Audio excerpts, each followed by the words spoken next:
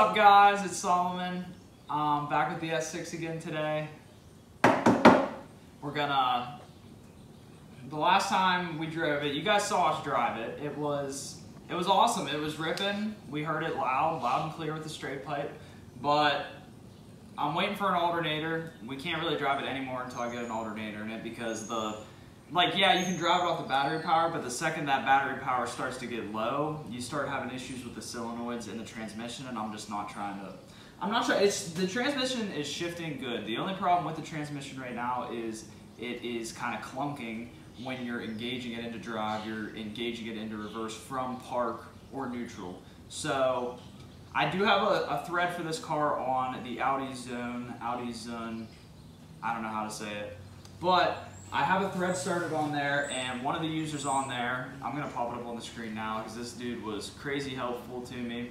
He said that there's a, on the secondary valve body, sometimes you can have a crack in it and that will reduce pressure when you're shifting to drive, shifting to reverse. So while I'm waiting on the alternator, I'm waiting on new transmission fluid. So I today I think I'm just gonna pull the pan off. I'm gonna dump all the fluid out because I'm getting new OEM fluid anyway. I was gonna do this anyway.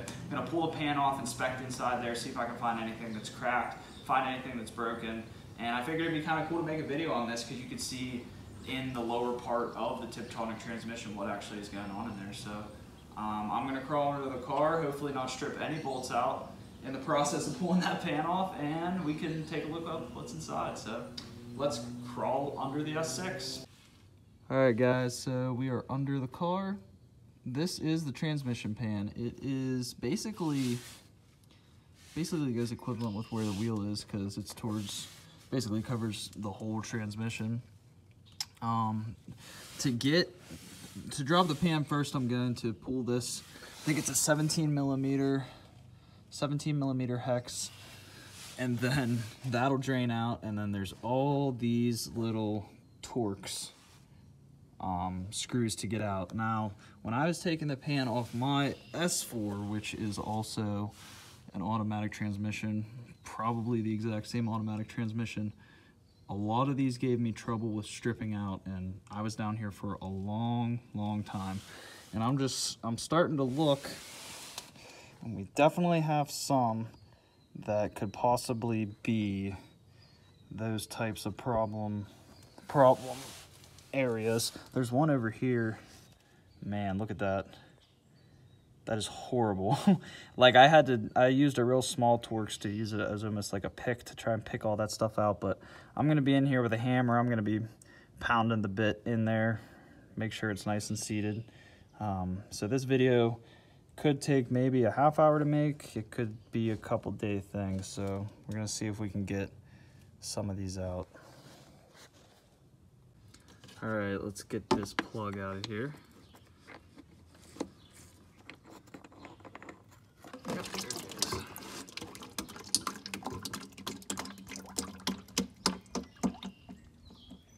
These things hold so much fluid. I don't even know that this is gonna be a big enough container for it, but we'll see.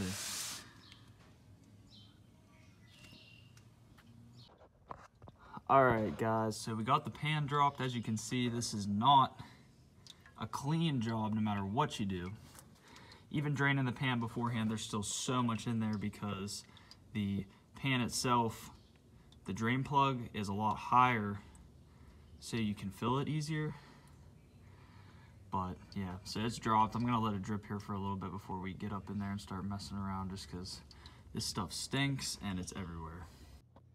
All right guys, so got the pan out. Of course, like I said, huge mess.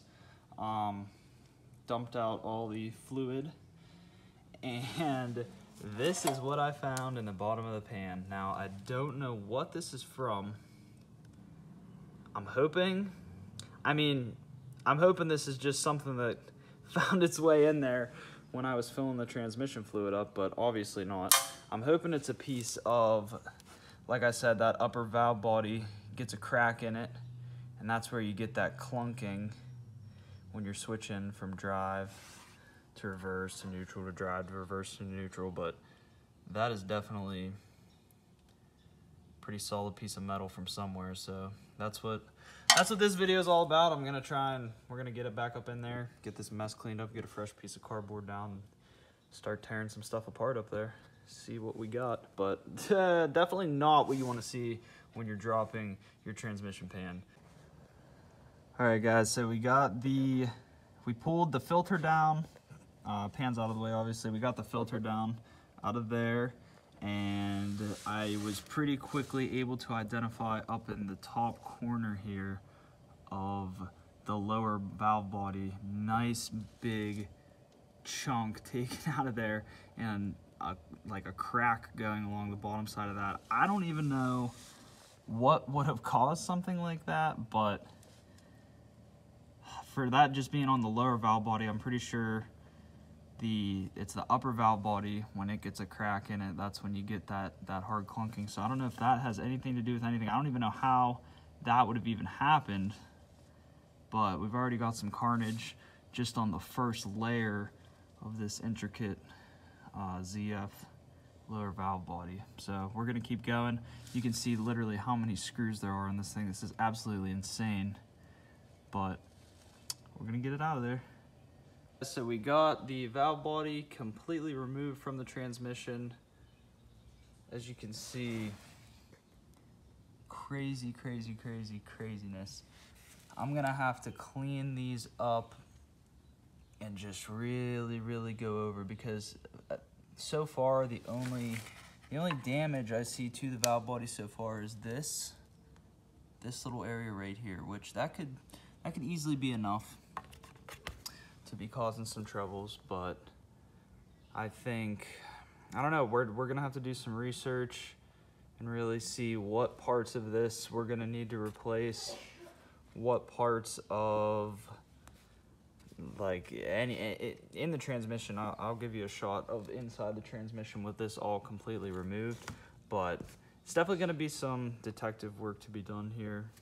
Really i'm going to get these all cleaned up and just really scan this cast to make sure we don't have any fractures because um, that is something that I have learned is common with these transmissions. So um, hopefully we can report back with some good news soon.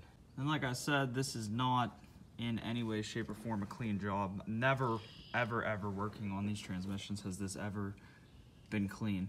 Every every bolt you pull out, more fluid starts dribbling, I've went through a few sheets of cardboard, but eh, whatever. That's what the inside of the transmission looks like after you've removed all that valve body work. Everything looks so astonishingly clean in there. It's hard to believe that this transmission is as old as it is. Looks brand new in there.